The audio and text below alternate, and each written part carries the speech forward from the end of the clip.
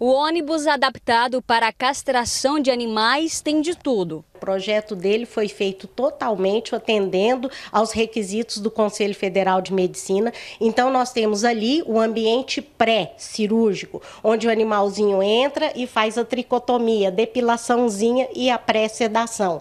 Aqui nós estamos dentro do ambiente de cirurgia, com todos os equipamentos anestésicos, os monitores, ar-condicionado, central de oxigênio, né? Todo, tudo descartável, da melhor qualidade que você possa encontrar em insumos e mercados. Chamado de automóvel, a unidade é uma clínica itinerante que pode ir para qualquer lugar. O veículo foi construído para levar castração de graça para famílias carentes que têm algum animal.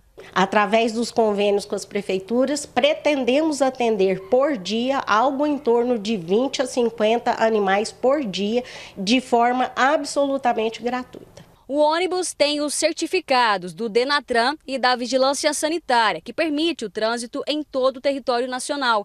Um veículo regular e legal que atende às normas de segurança e de saúde. Por enquanto, o ônibus está assim, parado. É que para começar a rodar é necessário uma autorização do Conselho Regional de Medicina Veterinária, que há cerca de um ano tem deferido vários pedidos de funcionamento por questões burocráticas.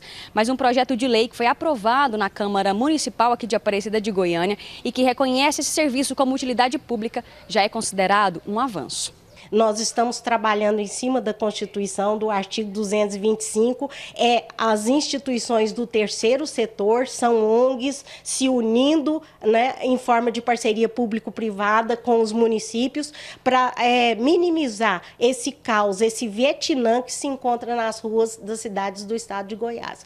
O projeto de lei foi proposto pelo vereador Marcos Miranda. Ele foi aprovado por unanimidade aqui na Câmara. Então agora com essa utilidade pública, a nossa ONG, a Almóvel, vai poder prestar o serviço ao poder público, fazer convênios com prefeituras, vai estar podendo captar emendas dos deputados e transformar isso em quê? Em serviço público aquelas pessoas carentes. E também impedir na cidade o, a superpopulação de animais, faz o controle populacional e com isso evita zoonoses. É uma realidade, uma política de saúde pública esse trabalho que a gente tem feito. A castração é uma necessidade de todos os municípios e uma forma de cuidar da saúde animal e humana. Só que numa clínica particular, esse serviço não sai por menos de 500 reais. Por isso, Promover a cirurgia de graça é cuidar da comunidade. Tem muitas zoonoses que passam para os humanos e para os outros animais. Fazendo controle populacional, nós vamos poder ter essa política de saúde pública, tanto para os animais também para os seres humanos. O único entrave de funcionamento a partir de agora é, é passar sobre a barreira que tem sido imposta por excesso de burocracias por parte do Conselho Regional de Medicina Veterinária. O projeto de lei agora segue para a sanção do prefeito de Aparecida de Goiânia.